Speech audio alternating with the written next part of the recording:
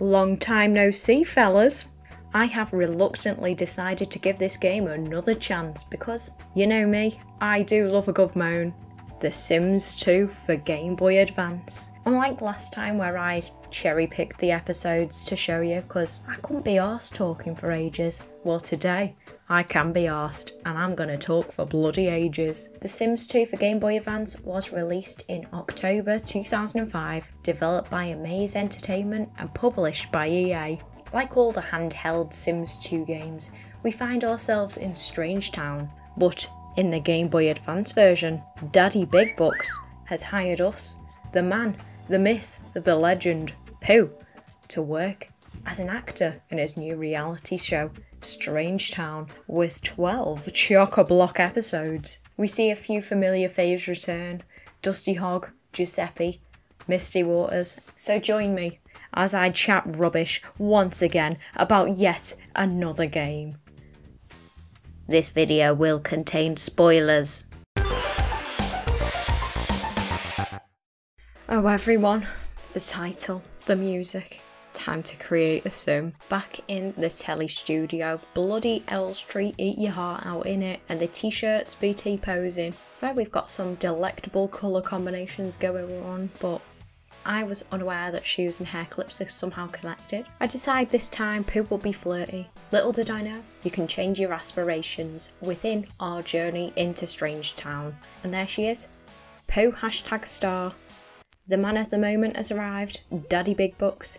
Still can't believe his mum named him that, descended from a long line of daddies that came before him. Welcome to my boardroom, Pooh. You're here to help me make the show number one. You and I will both be rich, rich, rich. Now, before we start the real episode, I've got a bit of training for you to do. Remember, no one else knows that they're being filmed with hidden cameras.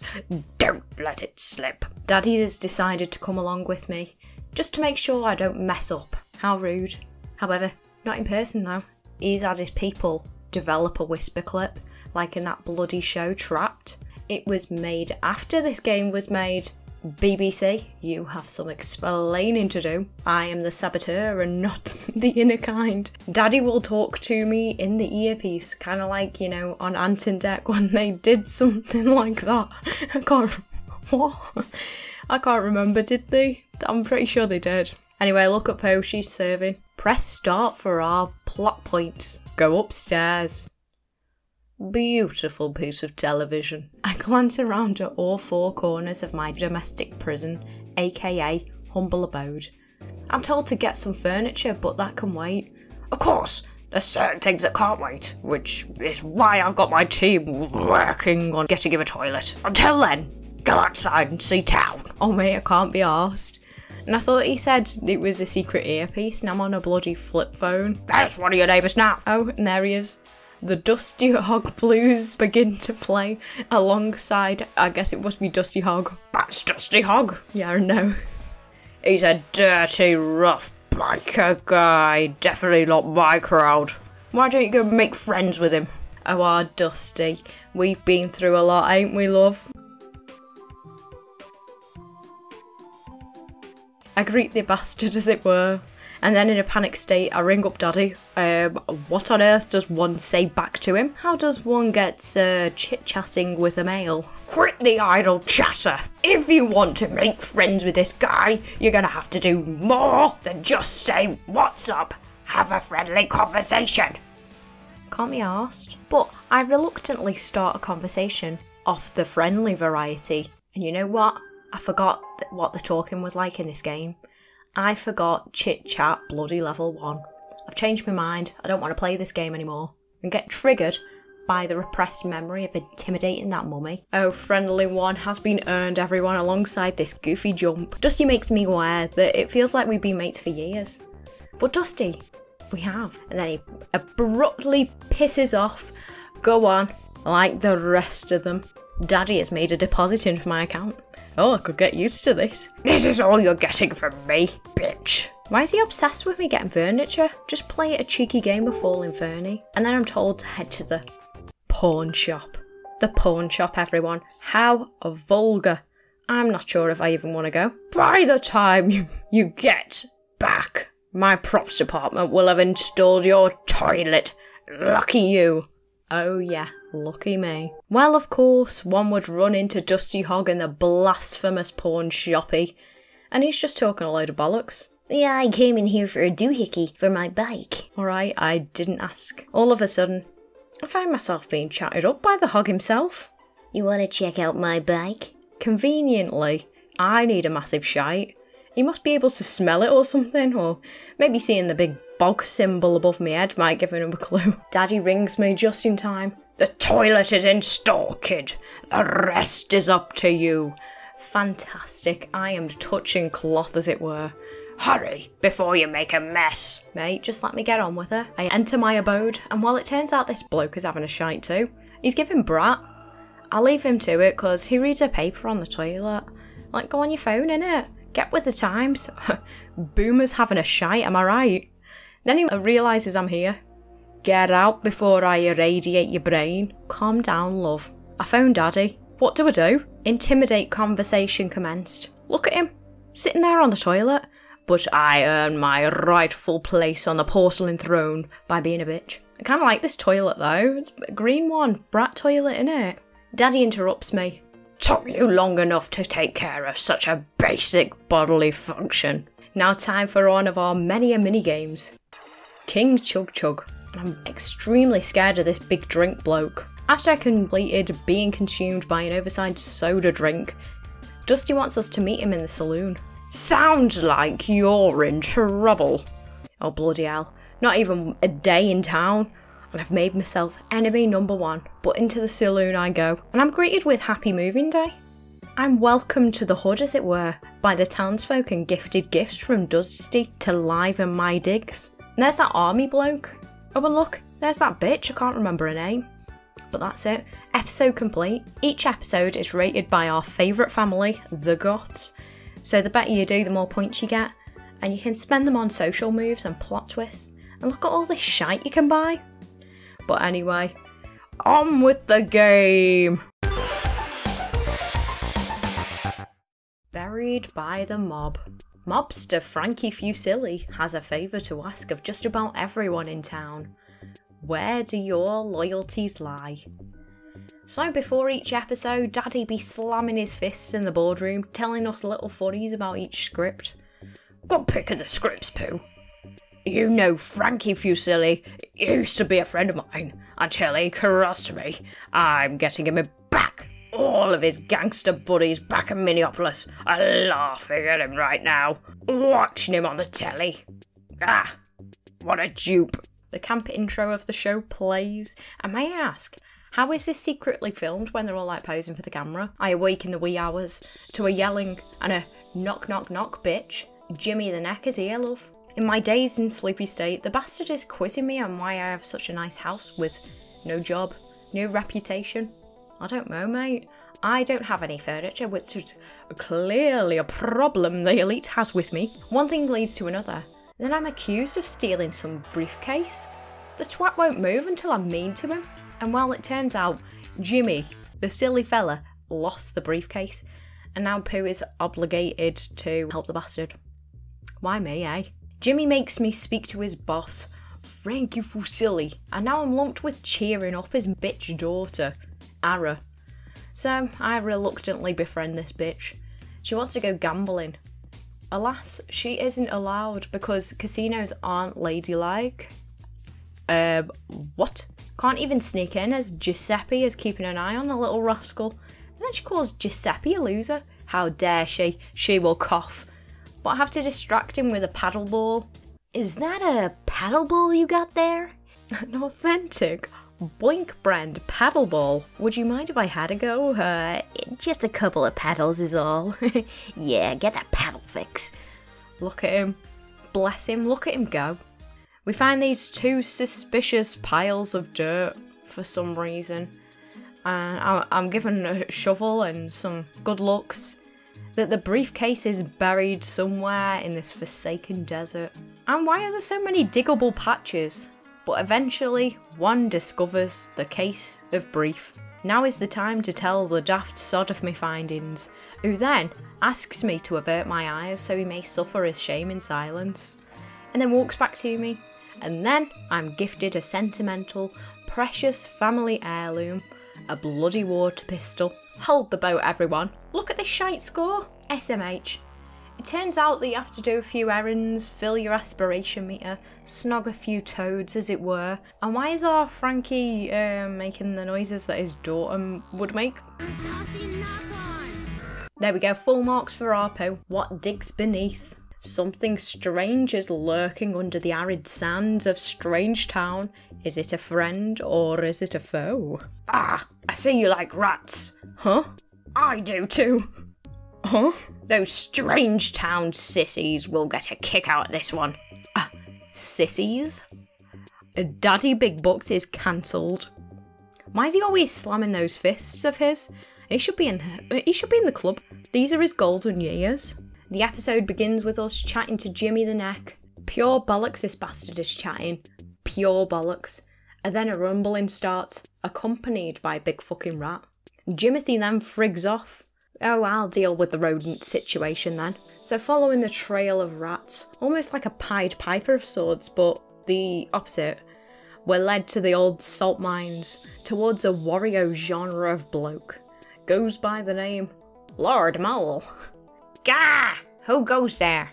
Turn off the light. We brought the entrance to this cave for a reason, you hairless orangutan. The disrespect is off the charts as he continues to insult me, saying, You smell of seaweed and you sound like a donkey.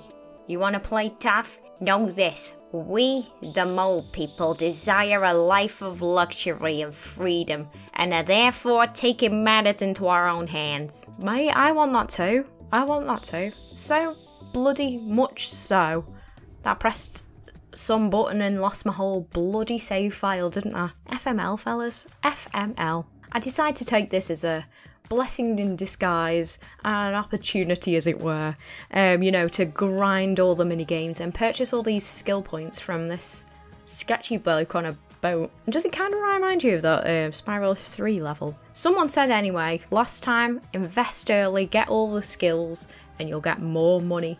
And boy, were they right. Look at this Bigfoot game.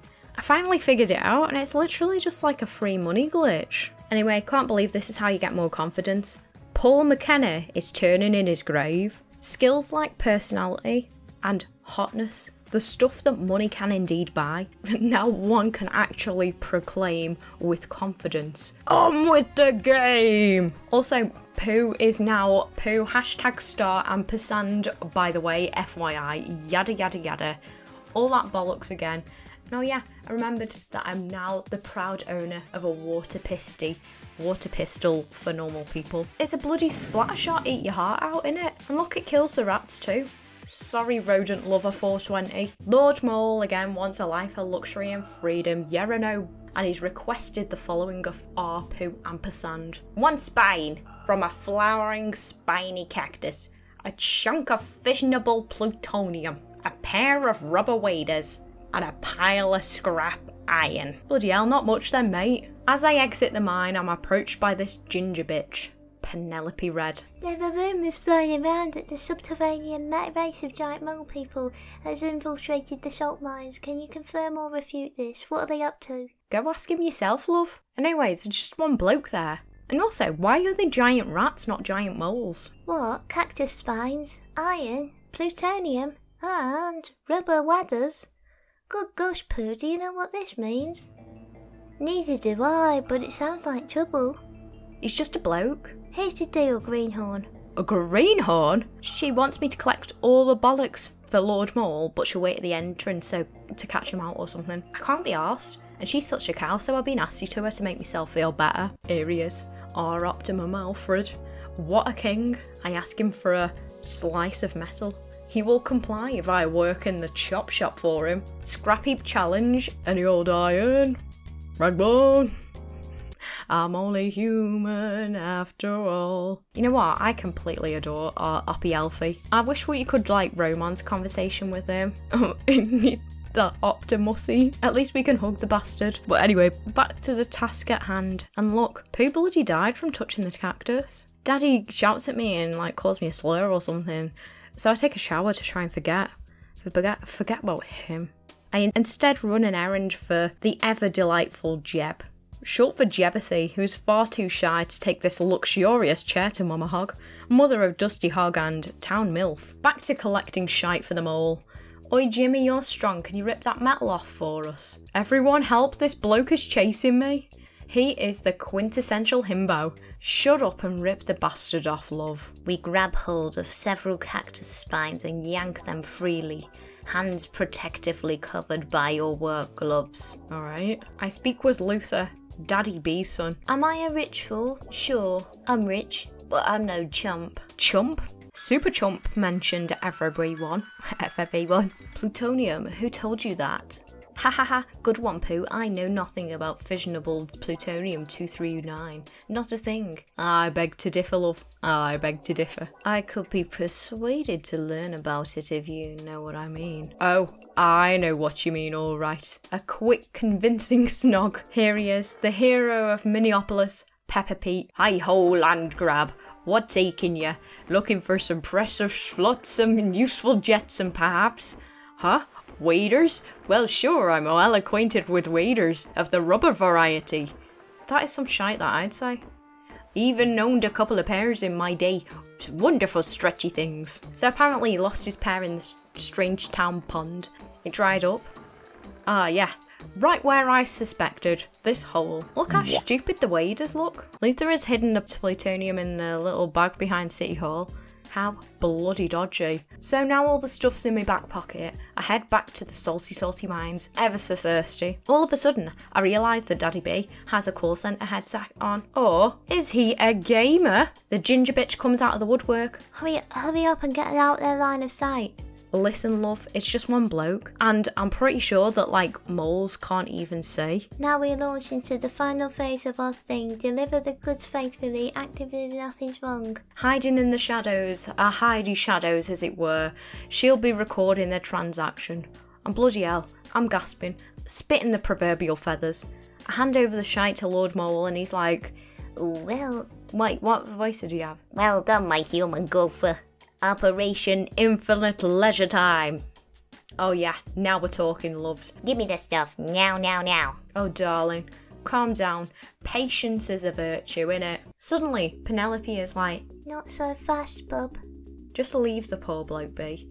And then goes on accusing the poor bloke of making a weapon. He pleads that his intentions are harmless, but Penelope is having none of it. We're not going to listen to your lies. Pooh is on the side of the surface dwellings, people of the strange town, right?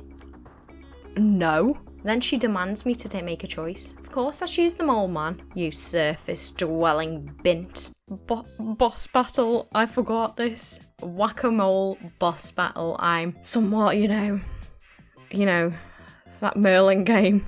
The final boss battle was whack a mole. But anyway, in true Sim style, of course, it's whack a mole with moles and also humans. A self propelled digging device they were making a self propelled digging device, easing the burden on their already damp, dark lives. The ever suffering Lord Mole. A lifetime of digging does something to a bloke. He doesn't even have time to read a bloody book, for God's sake.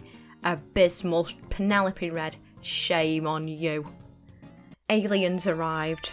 Right, everyone, don't say Exizzle, don't say Exizzle, don't say Exizzle. It is Xizzle.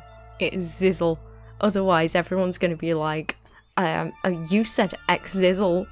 Well, you know what? I'm an obed, so ah, you're welcome. The shrewd Emperor Xizzle launches a full scale invasion with a twist. You may not be able to find his army. Be careful. You know what? I proper love the Daddy B summaries. I find them so funny because he's like, ah, the alien script. Good choice. You want to know a little secret? It's cheaper for me to hire aliens than it is to pay someone to get into an alien suit. Stupid actors' unions. We start this episode with Dusty Hog chatting absolute nonsense about bikes or something. Then here comes trouble. Tank Grunt strutting along. He looks really weird. He kind of reminds me of like a German Shepherd in his eyes. I don't know. Something off, isn't there? Can't distinguish them. Anyway, he's talking all weird. Greetings, seeming human friends. On this yellow day, I say hello to you. Then goes on to say, Please kidnapped Kaylee Wintercrest only because my love to her is hugeness, not for a secret access codes to nuclear facility. Not that. Here to award Kaylee with this bundle of my love. Why is Kaylee spelt so weird? Wait. It's spelt wrong. So me and Dusty slag off Tank for a bit, for, you know, for spelling her name wrong. I enter the facility. And what's this? Kaylee and Dusty are having a bloody mother's meeting. Here is Pooh. Am I interrupting something? We make her aware that Tank wants to see him, but she's reluctant to go and see him. We tell her of his strange behaviour, but then she gets angry. Dusty's like, go on, give the bitch the bouquet then. And she begins to freak out because turns out the paper flowers are like aerial photos of the nuclear plant. It got a reaction out of her. Played right into his hands. Where did you get all these pickies from, you twat? Oh, and Tank's acting all oblivious. Of course he would. I did nothing of the kind, lady. Preposterous. Is this some kind of prank? Then Tank 2 walks in. Kaylee, baby, are you come now to be my loving? He looks around Uh oh. Bye bye. and then does the mewing thing. We all stomp outside. It was an alien all along. Dusty suspects us all of being aliens, and we all ponder for a moment. So once I fail to flirt with Dusty, I'm sent to the canyon and dams to investi.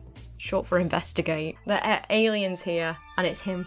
Beloved Emperor Xizzle. One of his minions is asking for his disguise device to be reset as he touched some water. Hmm, sounds like water is the key for disrupting the alien disguises. Soak 'em. Soaking guy. So squirting at some alien, and he's like, I spit myself onto you. he mentions exploding the dance club. So of course I head there to foil the plans and look at them all there, so standing. And of course it was a bloody trap and I fell for it. Stupid cow. Pooh awakes all confuddled. She'd been thrown into the salty mines. Someone gets a chatting to mole fella and he demands me to round up some more non-humans such as Bigfoot and Optimum Alfred and together the four of us should be able to do something. I like the way I'm part of the non-human squad as well. All of them want me to clear a certain area of aliens. And look at the alien just chilling with the recycling dude. Also, you got a funny t-shirt delivered. Um, uh, here you go, Luther. yeah. Parched as per usual. I make my way to the salty salty mines to figure out a plan. Mate, I don't know. You're supposed to be in charge. You are Lord after all. I decide to speak to Jeb about the invasion, and the bloke's totally oblivious, telling me some shite about some boat in the desert. I spray all the aliens. When I say alien, I can't stop thinking about. I crushed the alien. I spray all the. I crushed the alien. And they all say the exact same thing. Enough of this bollocks. I enter the spaceship and Emperor Xizzle is like, why is this bitch here and kills me? But look, I'm an alien now. Entering the craft once again. You lackey must set up another disguise to fight again, is our big plan. I vow this. Alien bollocks is continued to be spoken, so I fiddle with like the mainframe or some shit, and it starts exploding. The blokes all march back into their craft. Dusty states, I'm gonna get 'em rock and roll. Dusty is like an alien or something and calls Kaylee Beauty Woman. Ah, yes. Now is a perfect time to go and play some billiards. Blackout. A suspicious power failure at the nuclear plant raises questions of sabotage. Is the guilty party one of your friends, or are greater forces at work? One begins with a smiling Kaylee and Pepper Pete. Peter now smiling. Gosh, by golly, I was hoping to build a sundial out of some popsicle sticks and chewing gum. Kaylee is a busy lady and she is not happy. Suddenly, an explosion suddenly explodes, and Strange Town is plummeted into the seeming depths of night at bloody 10.30am. This morning I'll still be on the telly. Pete bloody scarpers off. Coward. Kaylee, however, standing in front of the explosion. I need to stop this. She's so mother. Stomping into that plant. Why is it all wobbly? And may I ask, what is Mama Hog doing here? What's her job? Only just barely able to avoid total core meltdown. Mama's like, Where was that explosion? like right outside, love. Mama Hog then noticed some random glistening shite on the floor What's this? and then asks, What do we do now? Girl, do you not have a mind of your own? One must acquire some nuclear rods, nuki rods as it were, and find out what this little insignia is. Not only one second after Kaylee and Mama exit the facility, I receive a call from Mama Hog, breaking the awful news that beautiful, beautiful Kaylee has fallen ill. You know what, Mama Hog? It's a good job I have 23 Nuki rods in my pocket. Also, that insignia, Chaz Dastard. Hmm, sounds a lot like Chaz McBastard Fraley, am I right? They ruined everyone. Turn the bloody game off. I'm only joking though. There's work to do. Our Jeb needs some green goo. Avacadabra notices that I have a little insignia on my person, commenting that it's so busted she doubts even Kent Hackett would recognise it. I was about to get offended, but then I realised that we just found this random piece of shite on the ground, and apparently Kent Hackett played Chaz Dastard on apparently the best show Chaz Dastard's Intergalactic Star Safari. Never heard of it, love. Mama Hog also be working at the call centre too, something about a survey. Trustpilot be like, all while doting on poor old Kaylee. Speaking of the bitch, here she is awakening from her slumbers. She mutters, My hair better not fall out. I have such beautiful hair. And you know what? She ain't wrong. We power on and investigate the warehouse. Kent's usual haunt and he's strutting his stuff, says something extremely vulgar. This new lock is harder to pick than a cat's nose. What? Who says stuff like that? A cat's nose? Picking? Dispatches, sort this bloke out. But our sleep deprived Pooh plods on into Kent's warehouse. However, Pooh fucking dies from this horde of nuki rods. That evil bastard. I awaken in the medical centre, and Kaylee is grinning from ear to ear, and then says, Mama Hog tells me you had a little radiation bath. Nauseating stuff, isn't it? Smug bitch. But apparently Mama saved me, got to me before she fainted too.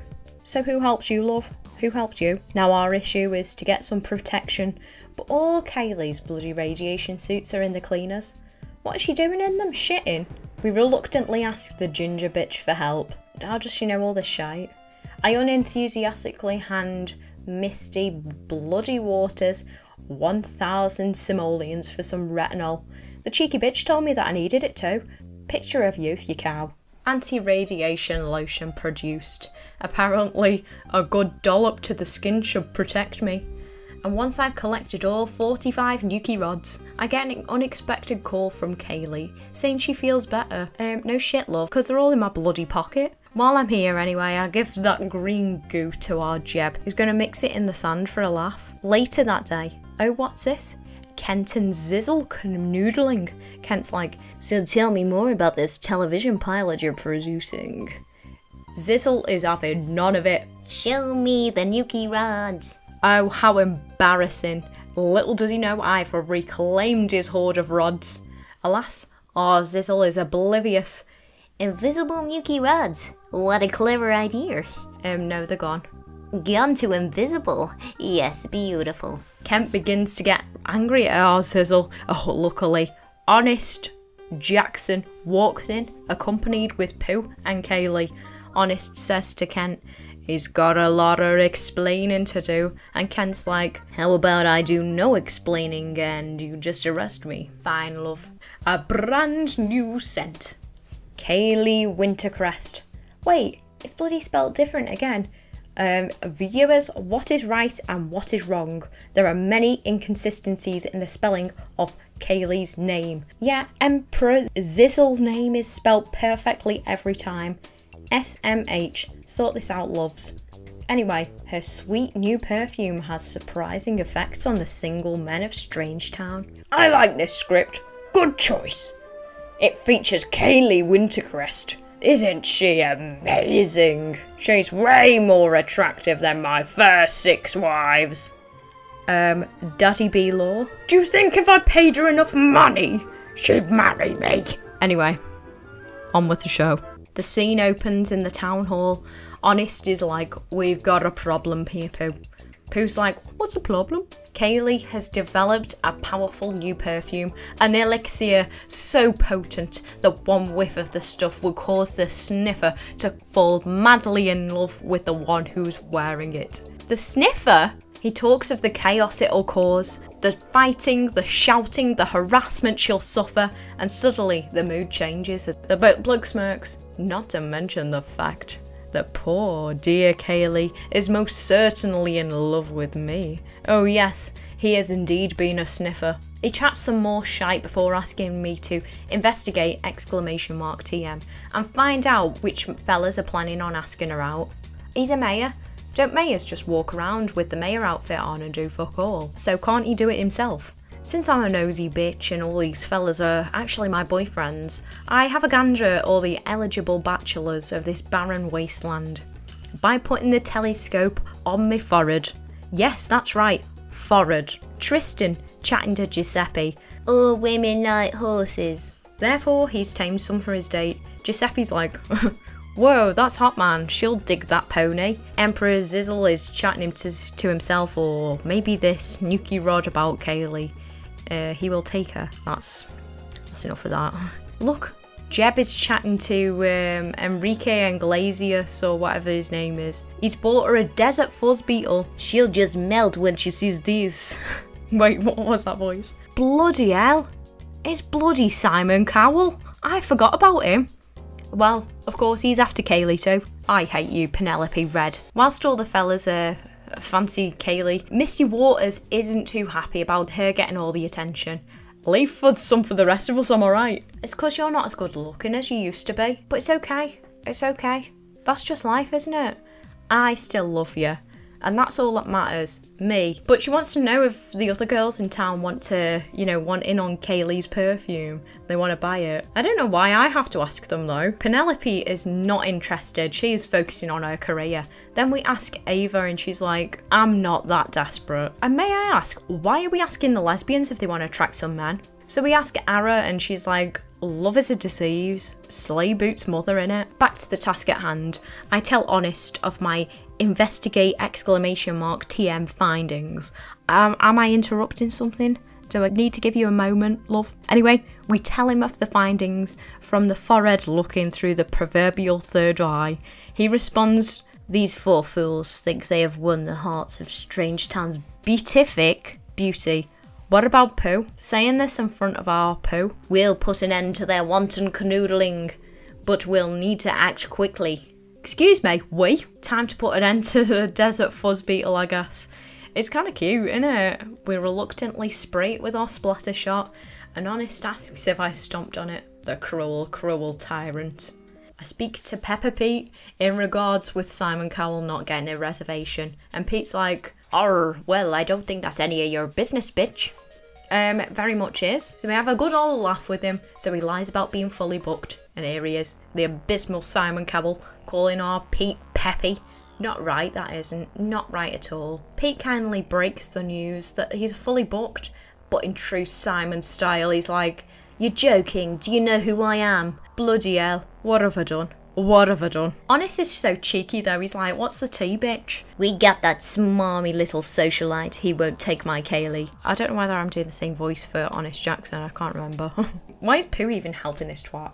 Why does everyone want Pooh to help them? Pooh's just a bloke. Ready to take down the next suitor, Tristan, whom Honest says will be a toughie, as he's, quote, so dang charming. I guess, in a way. Well, yes. Wait, no, I take that back. Look at him, moaning about his cut on his finger. You know what?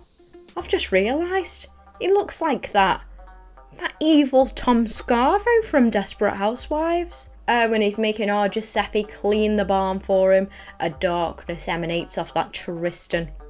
Well, he's not exactly cleaning though, he's just standing, but. Oh no, Giuseppe's like, Whoa, can you believe it? Tristan, legend, the Tristan legend is letting me clean his horse stables. Oh, what have they done to you, my boy? He says there was manure everywhere. If Kaylee had seen how much poo there was in here before, Tristan would be out of luck regardless of the size of his biceps. Why did they do that? All that talk of poo is making poo hungry. Jeb, can I have some shite? But he tells me not to be greedy and clean up some shite. But odd Jeb has surpassed his monthly poo quota, so forces me to take this load with me. Poo. Poo with poo. Look at this, shite galore, fellas. I feel kind of bad for Giuseppe though. I'm sorry. But things get heated quickly, and Tristan threatens to kill Giuseppe. What are they doing to my boy? They're making him out to be pathetic. Now, time to foil Xizzle's plans. Here he is, with the toilet bloke. You must listen. Kaylee will be a fool believing I am being sick and being green she will not love for me. Oh, this bloke is translating for me. Mate, I can understand him fine. So he wants some makeup so he, he can become human colour. While they're here, I take an opportunity to hug the aliens. If I can't romance conversation with them, this is as close as I'll get. I obtained some makeup from the abysmal Kent Hackett that expired in 1986, which smells fucking foul. Why Kent though? Do none of the women of Strange Town wear makeup? Anyway, here you are, love. Xizzle does something strange, and I guess that's him applying it full coverage and off he goes with his little bicorn hat and his little green off smoke. Aww. And the other bloke is like, hey, probably better that he doesn't know, and struts off. Honest thanks me for honouring the town and has one last request for me. Grant my last request. He wants me to find out Kaylee's number. Seems to misplaced it. Mate, aren't you a bit old for this? You got that weathered face. Come on, my name's not Honest Jackson for nothing. Suddenly, I got pisted by Kaylee. She stops me in my tracks. That's close enough. My perfume has been driving people in this town. Batty! She wants me to help her get rid of it, but someone made of flesh can't handle it. Oh, I know the I know the bloke for the job. What's it all about, Alfie? Why have you given me this liquid bitch? He says. I understand you require a method of disposing this volatile substance. Well, it's my lucky day as he launches daily batches of refuse into space. Wait a minute. Rhett and Link? We've got the greatest job on earth, and we're not even on earth. We're orbiting the world, you see, collecting space debris. I'll gladly relieve you of your burden, and it's shot into space. The new cola. A delicious new cola with a secret formula has an unexpected effect on your sim.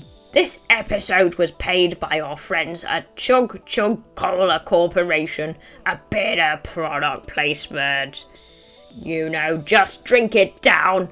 Smile when someone gives it to you. Here we are in Gothic Gardens with Ava and Dusty discussing the vulgarity of ladybirds. Tank Grunt, as per usual, changes the subject with his main character attitude. Hey all, who's thirsty? Just so happens I got a six pack of the new Cherry Guava King Chug Chug Cola. And he begins a gulping the proverbial gulp noise.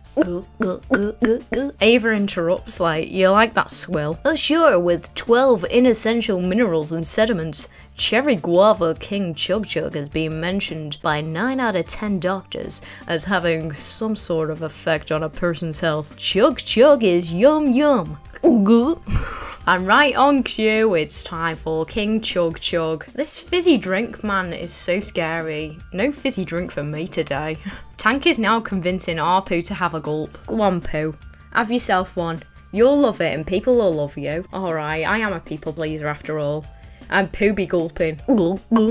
Aw, see Pooh, that wasn't so bad. Blur. Um, did your tum just say blur? Uh, I think so. My ouch, I don't feel so good. All of a sudden, me and Tank become extremely tiny. Meanwhile, Kaylee is working and Mama Hog be like, I have an invoice here from the Chug Chug Company. Why do they need all the Nuki rods? Mama is so inquisitive, almost childlike.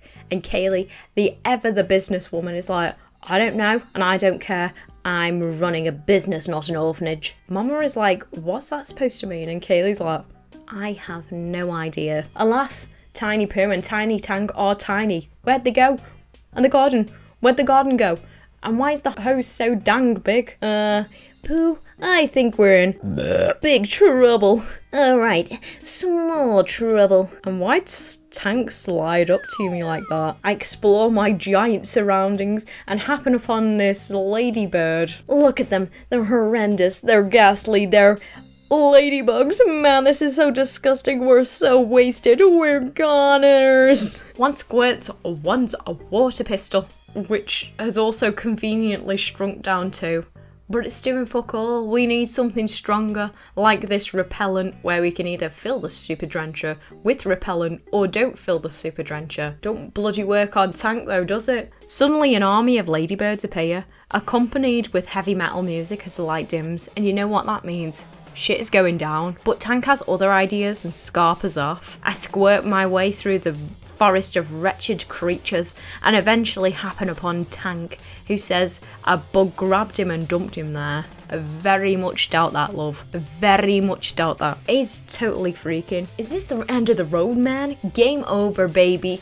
Game over. So, using our karate poses, I force him to accompany me, and he slides towards me as I grumble in a starts. Oh, an overturned can of glug glug cola. Do we dare drink? If I mean, Chug Chug Cola shrunk us, so Glug Glug must. Yeah, we might grow wings or something. What do you think? What do I think? I think that there was supposed to be a Ladybird boss battle here. Oh my god, look, he almost disappears and I can make him come back so I can kill it again and again. Anyway, to drink or not to drink, that is the question. Suddenly we cut to Dusty and he's like trauma dumping on Ava. Luckily, Pooh and Tank become normal sized. Ava, Dusty, don't drink that cola. They inquire about our whereabouts, and Tank is like, You'll never believe me if I told you. And then they start having a lover's tiff. There was a mummy. People, everyone, people. I am dreading this episode with a capital with dread. I just remember the mummy. When things start disappearing in Strange Town, your sim vows to unravel the cause. After I saw that new movie, Ephraim Earl versus King Alan Tut, I knew we had to put more mummies in our show. Can you think of a better way to scare those Strange Town chumps? Oh my god, Ephraim Earl mentioned. We start this episode chatting shite with that Penelope. She used to be a lion tamer or something. Now I tell myself the FBI was the right decision, but I still have my whipping wicked chair. and no one asked love. Oh, thank God here's Luther. In a panicked state of all things, though. There's been a robbery. Penelope's like, not my problem, love. Someone stole my Olympic 2004 Olympic gold medal. They have taken it back to Minneapolis. Mate, I wish someone had taken me back to Minneapolis. But I decided that this bitch is kind of funny. The truth is, I just don't care, Luther. I've got some socks to hand wash now. and then she frigs off. But now, bloody Luther begs me to help as the apparent Minneapolis shining star. And now I was. We head outside, and the icon Bigfoot is having a lover's tiff with Jeb. Sob, what's wrong, Mr. Bigfoot? Why are you crying? Jeb is so thoughtful. Bigfoot says, Toilet paper man took teddy bear. Must be the mummy, eh? Jeb's like, There, there, Bigfoot. I'm sure this asinine story has a rational explanation. Asinine? Jeb is an intellectual queen. Now, honest bloody Jackie says Penelope is being kidnapped. Ah, rip Penelope, you would love hand washing socks. How could this happen? The smartest, quickest, and deadliest woman in all of Strange Town allow herself to be captured. Oh, honest, you are cancelled. Victim blaming is not it. But why I've got to find everyone's shit? I head to the warehouse because the deplorable Kent Hackett, well, his warehouse is bloody on fire. I guess I'll in- extinguish it with my water pistol. Oh, hang on a minute though. I've got a. I'm getting a call, loves. Time for the moment I've been dreading. The mummy. Intimidating the mummy. Oh, that was it. I feel bad. The mummy's only wanting to make friends and be likable. Aw. I like you, mate. Please enter my home. Bit forward. Not in that way. What voice would you have? Please, please, you see, I live so alone. He keeps apologising. So I go to retrieve Luther's medal. Suddenly, the mozzies are out. Human, watch for tsetse flies. What do you call me, mate? Foolish me has awoken the blood sucking tsetse flies. Now home too dangerous. Aren't you like dead, mate? This this issue this issue doesn't concern you. I'm so bad. I grabbed Miss Penelope. She seemed so, so sad. I wanted to cheer her. Cheer her what? Yes or no? Well, she's in the bloody ziggurat. We run into Luther, who knows I have his medal for some reason. The mummy thought it was a magic medallion of happiness and love. He only wanted to feel happiness. You can't be mad at him. Look at that face. Well, that really tugs at Luther's heartstrings. A real softie. Perhaps a prudent softie. Off to John Zoo, and he's like, Is he safe? Oh, piss off. Mummy is like, Wait, Mummy is Mummy and Daddy in this game? Really makes you think, doesn't it? Anyway, he's like, I'm very safe. Only lonely and needing help. Look at all the dots that Mummy types. He's like a boomer. We fork out 2,000 simoleons for the bug spray. Good thing I'm bloody loaded. Wait, I've just thought as well. There's too many bugs in Strangetown. Kill them all. Once at the ziggurat, because I guess we have to save this slag. I whip out my water pistol and... Oh, She's not here. Mummy blames himself. Oh, mate, don't worry. It's not, it's not that big of a loss anyway. She was shy. Oh, she was outside. Where's Bigfoot's teddy, love? and don't give me a driving license, eh? Honest is happy. Penelope is safe because the paperwork would be a lot. Why that the type of shit they always say at work? There's no need for it, is there? No need at all. And Bigfoot is in an absolutely foul mood. Still no teddy bitch. The mummy can't bloody remember where he put it, but he can feel if it's close. And the dirty bitch Penelope is like, well, you and Pooh are gonna have to feel it out. Oh, what? Blasphemous. I'm thanked by Bigfoot. And Bigfoot then suggests to the mummy that he should buy a teddy, to which he replies, Pooh is nicer than Teddy. I stay with Pooh for some time. Oh, great. Bloody great. At least until I die, I will stay by your side. For fuck's sake. Triassic trouble. Honest Jackson has misplaced a dinosaur, or rather, its bones. Can your sim help him recover the pieces? Into saloon, and I'm approached by Jimmy the Neck. Hey yo, yeah yo, Mr. Fusilli sent me. He wants. Wait, I forgot. Let me let me try again. Wait, he's walked away and comes back. Hey you! Ah, can't be asked thinking. Yeah, he said can't be asked, didn't? So off to Frankie F I go. What do you think of the dinosaur theory, love? Do you think there are bones buried underneath Jeb's ranch? He suggests a partnership of sorts. I dig, he keeps the bones. Sure, I'm not even doing out. And look, I'm digging holes like in holes. About to relieve my heavy burden of bones, I run into Jeb and Honest. What are you doing? That's what they say to me. I wasn't aware that the ranch was off limits, lads. Then, bloody Jeb, the snitch, is like, hey Honest, look at this bitch's pocket. It's in the shape of a dinosaur. Um, what? You know what they say?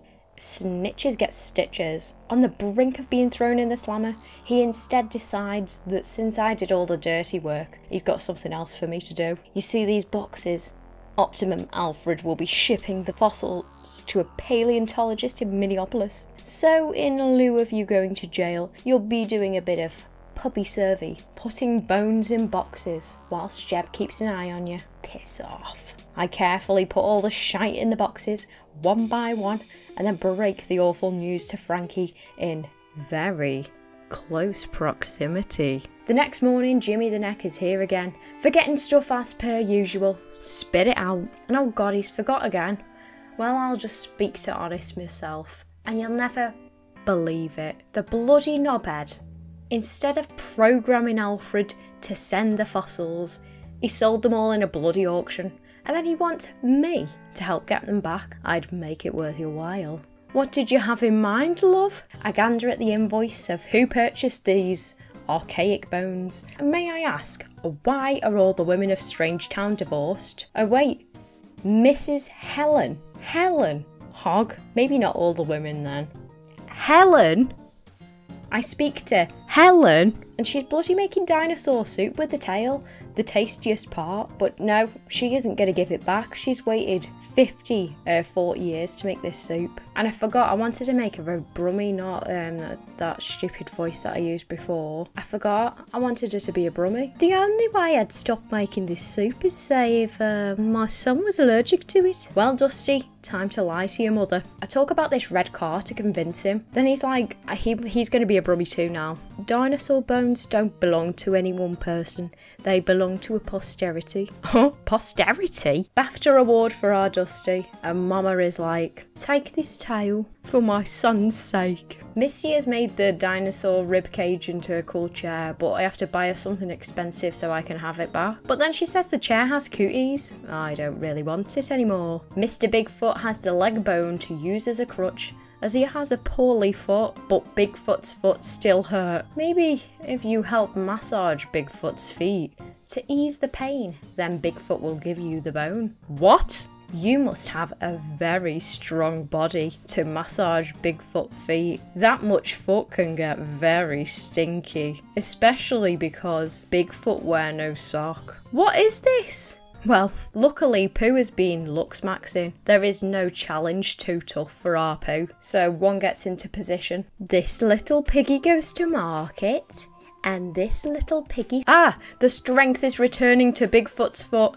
and then he kicks me up the arse. Nah, not really. Ms. Ava. She has the dinosaur skull. What's it to you? Have you been snooping? This skull fits my melancholy mood. Unless you find a cooler prehistoric artifact. Off to the Mohukum ziggurat I go, as suggested by Ava herself. Plenty of macabre pieces in there. I guess this perfectly placed thing will do. I reach out to grab it, but then the bloody mummy hobbles in, moaning in his boomerish way. Why are you trying to steal from me? I have so little here. God, I feel like pure shite. Then he has the cheek to say that I'm not scary enough. I'll show you, mate. Look at this karate. Just take the urn. Just leave me alone. So alone. I'm sorry, mate. Look, let's talk about this top hat with the dinosaur in my back pocket. I'll go to see Honest Jackie. Well, well, well, String. If it isn't Super Citizen Pooh. He decides he wants the bones to stay in Strange Town for all to see. Then one must construct the bones. Correctly, of course. Here's Frankie Fusilli now. He congratulates me on my splendid sleuthing whatever that means. But then he wants me to construct it wrong. Lads, I can't be arsed doing that. So I go to the saloon to get some grub, which is where conveniently our artifact is to be erected. Dusty helps us construct it for some reason, I don't know why. Honest is all smug. Frankie is pissed. You know what? Cut the crap, fellas, and have a good old snog. The doomed Earth.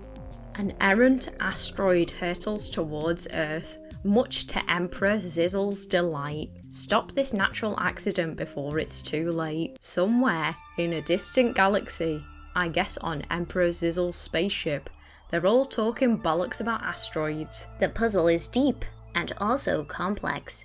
Reactions but evacuate the planet is what we must do. Do it! Recall Burple. Hey, what's up? Burple here. Long time no see, chaps. Speaks like a posh bloody twat. Return up to us on this ship on the instant. And then he talks some more of the alien bollocks. Soon all asteroids will be away, and on our human studies will continue again one day. Yes, one special day. I vow this. Meanwhile, back at the ranch, Jeb is like, Excuse me, Pooh. I said, excuse me. Pooh runs to him like, Yes, sweetie. I'm glad to talk, caught you. There's uh, trouble a brewing. Oh, it's that wretched Kent Hackett trying to force him to sell the ranch, knowing full well Jeb is strapped for cash. I'll handle that for you, pal. We head over to the farm to stop that do no gooder. And look at him strutting his stuff, the twat. Then he starts start chatting shite. Jeb is like, Not so fast, Kent, old boy. and is like, I had a little help for my. Oh, so you made Pooh scrounge for you. Suddenly, a meteor crashes to Earth. Kent, the smug bastard, is like, Congrats, Jeb. This farmer hole in the ground is all yours. I'm gonna spend some money in the club. I bought a farm, but I took home a crater. First of all, I bought the farm, I think you'll find. Oh, bloody hell. Here's another bloody twat. Oh my gosh. Who says that? An asteroid in Strange Town. Wow. Bet that's relatively normal. Ain't no story here, but the excuse I'm gonna have to give to my wife. He has a wife?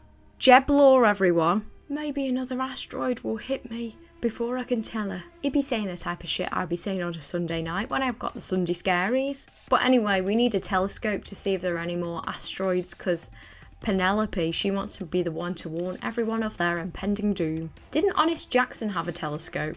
I don't know. Instead, we grill Tank Grunt about a telescope, and he gets all nervous talking about it for some reason. Well, after nattering to Misty, we know why. He's like overprotective of Ara Fusilli and spies on her. Oh, we've gone right off that tank. One needs to catch the fella in the act, so to speak. So we get Luther to flirt with Ara, and then the bloke frigs off to flirt while I'm stuck in midair. He struts up to Ara to commence the flirting, but she's like, can I ask you a favour? Oh yeah, my dad wants me to move this bookshelf, can you do it? Oh look at that bloody face. I guess Pooh's coming along too. Now all in Frankie's abode. It's kinda nice in it. Only five paces away from Dusty's trailer, whole bloody worlds apart. Suddenly, Frankie appears and ain't happy that Luther and I are in his house. Then Ara frigs off, and me and Luther are threatened to get fed to the fishes, as it were. Calm him down. I'm sorry. Frankie seemed really calm to me, and I was on the bloody edge of my seat with that interaction I were. Off the hook now, excuse the pun, but I'm no longer allowed to speak with Ara anymore. You know what? Didn't like her anyway, mate. Get out! Outside now, and Tank and Ara are conversating of all things. She mentions his telescope. Tank then says, Sorry, baby. Baby? What is going on here? Actually, you know what? I'll just leave you to it. Oh, there's his telescope. Don't mind if I do. Lovely jubbly. Penelope immediately spots my telescope. It's a real beauty. Give it quick. The cheek. And then tells me to move my hand.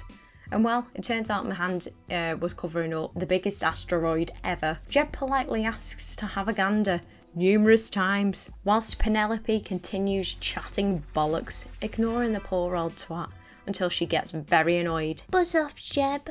I'm thinking. She screams. What a bitch. Poor old Jeb. Look at him squelching off. I tell Alfred of my quandaries. I see you require a mode of transportation to a nearby asteroid and an explosive with which to demolish said asteroid. I understand. I can facilitate your requirements for a fee of 5,000 simoleons. No, you're worth, Alfie. God, I'm so shy at this car one. Return after midnight. Well, it is after midnight. Oh, he's kicked me out. So I return after midnight tomorrow and we follow the little guy to a quantum matter transporter that'll transfer me and my body to the surface of the asteroid and an explosive in one of Alfred's spare heads. Lovely. Place the bomb in the crevice or don't place the bomb in the crevice? That is the question. With the bomb well and truly placed, I begin to ponder. This doesn't even look like Oppie Alfie. It looks like Metal Homer from Futurama. One crosses the wires like some sort of cool person. And then Xizzle and his bitches appear, followed by a load of alien bollocks being spoken. And there we go, I saved Strange Town, didn't I? It all came to an end. In a scheme for higher ratings, Daddy Big Bucks decides a tragedy should befall Strange Town. In this season ending cliffhanger, we begin in my basement, and Daddy wants to shake things up a little with a bit of a cliffhanger.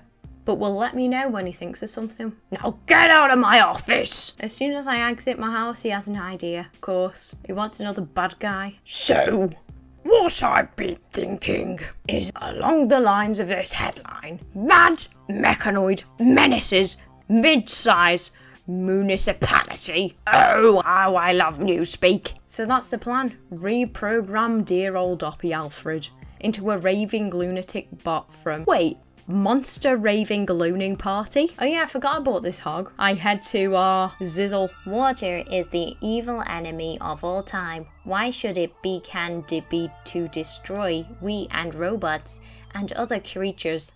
Bah. Now a new gun that is most powerful is on a horizon that is bad. I love, I heard you talking to yourself about water pistol. Could I have it? No. So I show off my karate moves and be a little cheeky rascal. And then he reluctantly gives me the super hyper mega super drencher upgrade. He fiddles with me thing and then frigs off. Oh god, I really don't want to spray Alfred. I hope all is well with you today. What the hell? He's so sweet.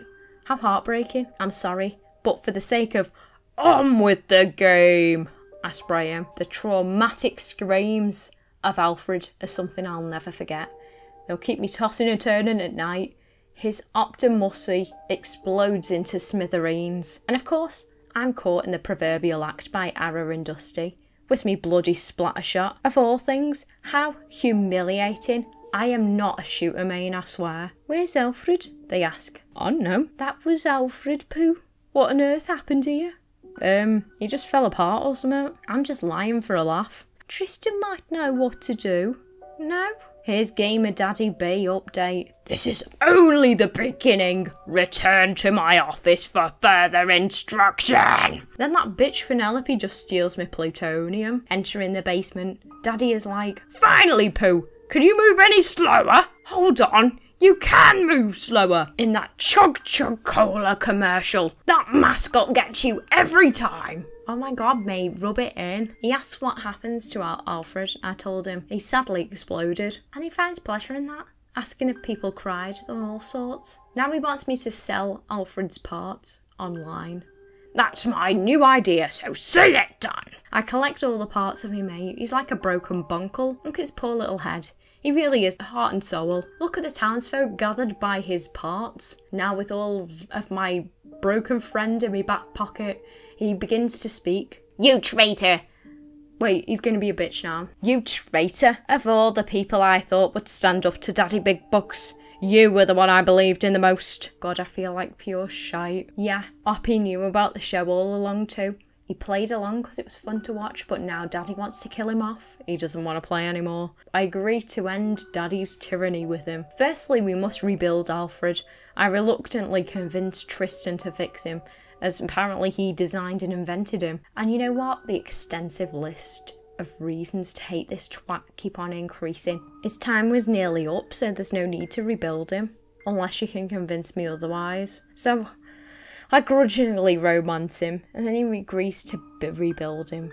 And Alfred's like, um, it turns out like Alfred's 30 years old, so that's like still really young. And he built him when he was five, so what? That makes him at least 35. Mate, you look a very weathered 35 year old. That's all I'll say, love. Don't, can't say anything nice, don't say anything at all, but that's all I'll say. Anyway, off we go. Oh, Honest Jackson is coming too. There's room for everyone. And Oppie is back, everyone. He says, Let me get back into character. A wink. Salutations, humans. And basically breaks the news that they're all on a telly show. Daddy B is orchestrating it all.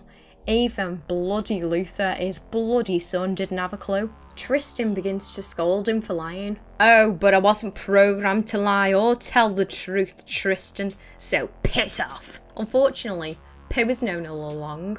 What? What the hell? Alfred is dropped me in it, as it were. What the flippity flip? Stand aside, people. This is where I come in. And Jimmy the neck drags me off by the scruff of my neck. No, Jimmy, wait, there's a alien spaceship part right there. Now under lock and key. I'm in bloody jail. But nothing out of the norm for poor old Pooh. Here's Daddy B. You should make this town angry more often. Now, what he wants me to do to finish this very tense episode is convince the townsfolk that they're not on a TV show.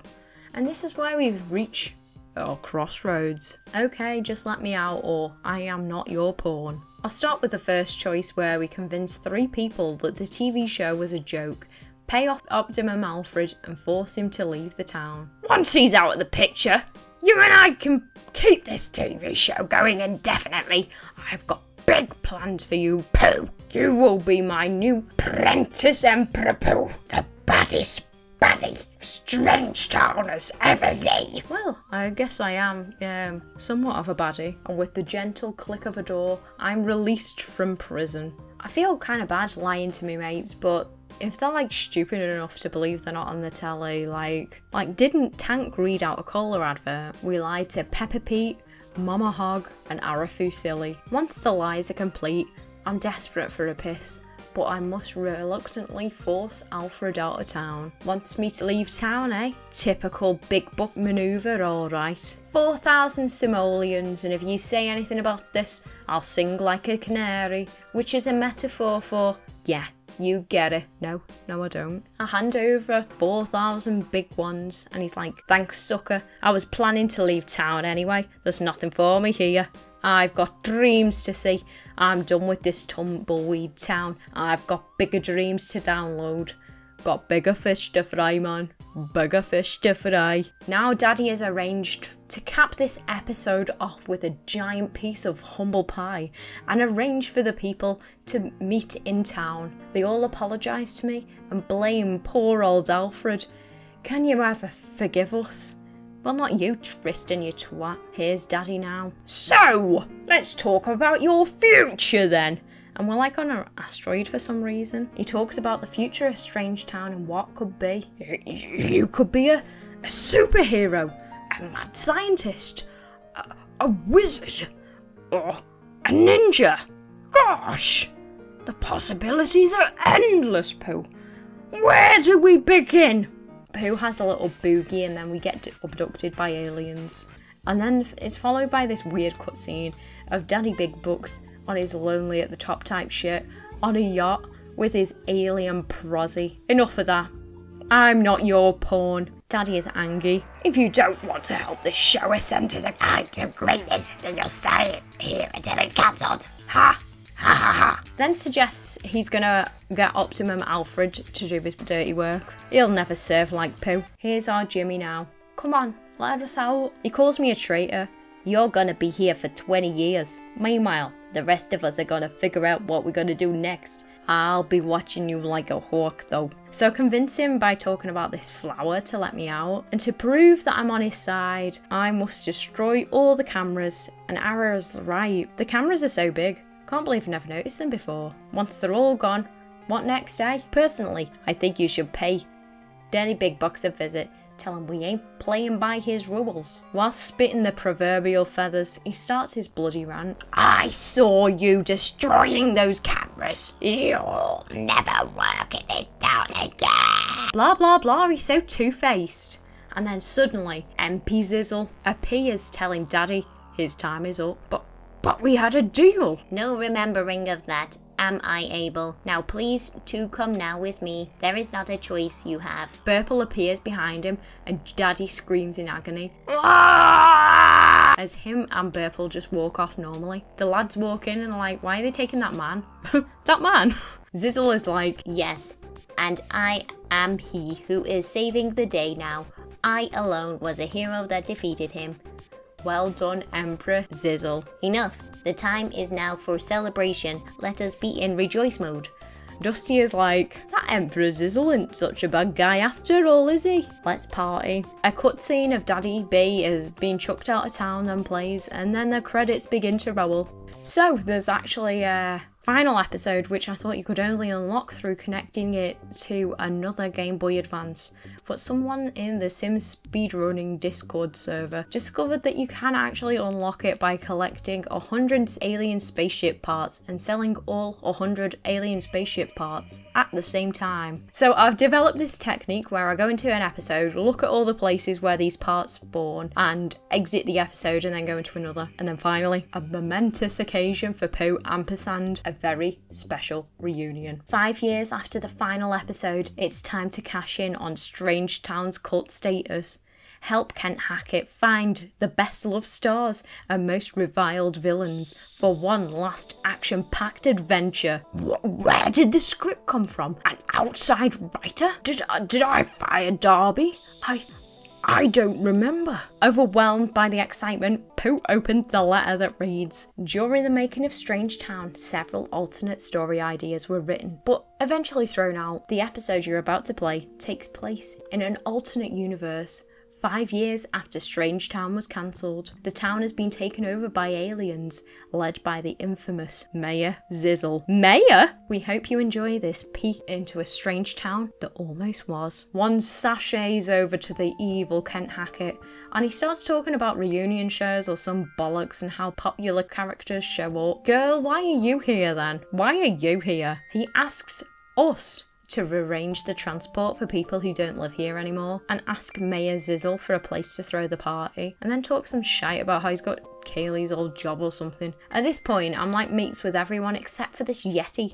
I thought it was Bigfoot, but I need to know how can I meet them. After a good old natter with our Xizzle about top hats, he allows me to have a reunion. I understand now. Very. All is right then. You are by me allowing to gather as a reunion. I say the old club is where Where? things are to be happening. Old club for reunion good. On my way to Frankie Fusilli, and I think something Something strange is going on in Strange Town. He asked me to pitch in for the arrangement of the transport of his bitch daughter and Giuseppe and Kaylee, so I hand over 2,000 simoleons. Now you sit back and let Frankie Fusilli take care of everything else. Exiting Frankie's abode is accompanied by a siren of sorts, and it's none else but Bloody Tank Grunt lying wait for the right time to retake the city. If you're human and you hear this message, track me down and join me. Also, can you bring me some sockies, some pants, some water, and okay, long leaf strange down. Not asking for much, Arby love. And do you think if an alien heard that, they would ignore it? Like, oh, it doesn't apply to me. Bloody Kent Hackett rings me.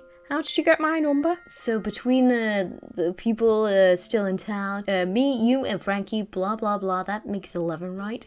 I don't know, mate. Then tells me I should probably find Tank. Instead, I I found the I found the Yeti, and he gives me a little Yeti doll, and I've been hugging the Yeti as well.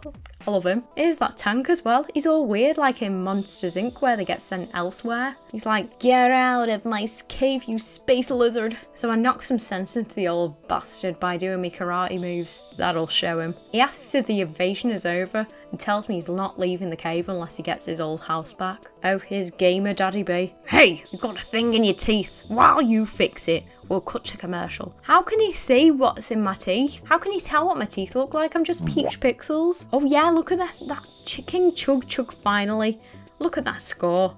I'm a pro gamer. I run into Peppa Pete who says, It warms me heart to hear your sweet voice again. Love him. But then the sentimental shite bubble is burst when I realise Bloody Burple is living in Tank's house. I've been in the house for two seasons and I still can't find the bathroom. What gives? He's obsessed with the bog, isn't he? But he's willing to disappear for a small fee, so I pay him off and he beams off. I return to Tank and tell him of the news and the bloke is so ecstatic. He runs in like slow motion. Exploring my old haunt, I happen across some of my old mates, such as Optimum Alfred, moaning about agreeing to come to this reunion. You humans are so lazy, I bet you don't have the energy to work five different jobs in a row. What's that got to do with the price of cheese, love? I'll show you though. Lord Mole saying things like, Things have been better since you left. Misty Waters saying she's missing me at the sauna.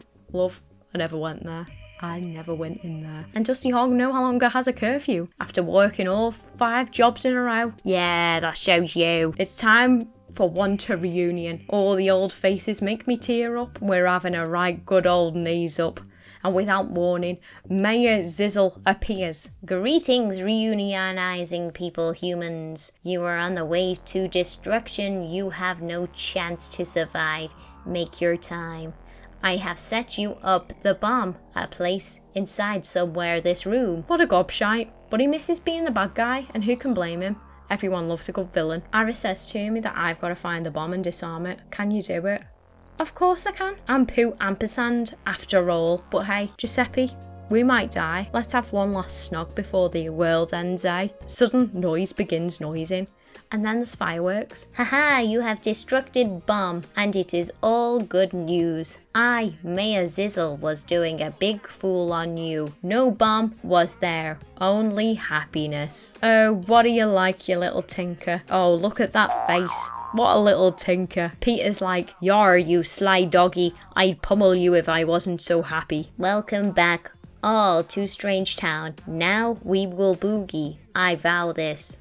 Pooh Ampersand and Mayor Xizzle boogie the night away. All done, I give me mates one last cuddle, and all that's left to do is the inevitable. You know what? I really liked this game. I really liked it. So when I made that last Sims 2 video, I'm sorry for calling your childhood favourite game shite, because it's actually alright. It's not as good as the, the other ones, but it's not the Urbz, is it? And it's not Bustin' Out, but it's not the Sims 2 pets. Now that was shite, wasn't it? That was shite. Anyway, thank you for watching, as always. Sorry it's been so long. It's been a combination of I've been working loads of hours, and I, then also I was over ambitious with making a different video. I didn't realise that games did take so long to play. I forgot that they take so long to play and also playing games takes a long time to play. So I am sorry, especially to those whose menstruation cycles may have been affected. I apologise. Just want to know what do you want me to post on like that community tab or post anything or like if you follow me on Twitter, I have a good moan on Twitter about life, so you can do that. But sometimes I don't have a moan. I just retweet stuff because you can't. No one can see your likes anymore, can they? So how will you know what what what's going on in my life if you can't see my likes? I hope you enjoyed the video. We've got bloody new prime minister now, haven't we? That's been a long time. Been a long bloody time. Shut the hell up, you bitch. Bye.